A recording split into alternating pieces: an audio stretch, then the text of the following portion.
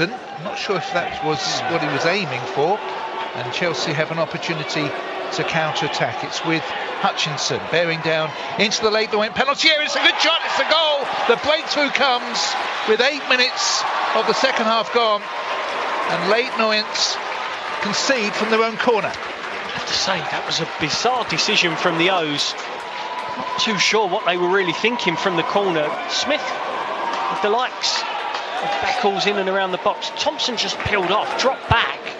Must have been 25 yards from goal, and Paul Smith's trying to pick him out. chance Adam Thompson's going to be hitting that on the volley. In the end, Chelsea.